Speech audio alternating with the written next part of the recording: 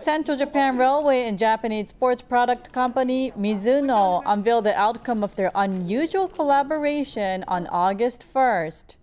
A baseball bat that is made from recycled bullet trains. The move comes as Central Japan Railway searches ways to increase the use of recycled aluminum that are generated from its bullet trains. Seven full bullet trains are scrapped each year. Aluminum that was used in the bodies of the N700 series of the Tokaido Shinkansen bullet trains was crushed to extract aluminum alloy. The developers then processed the material to craft a special bat.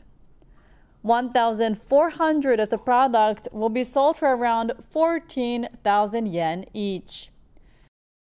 Developers say that carbon dioxide emissions are reduced by 97% compared to making new aluminum.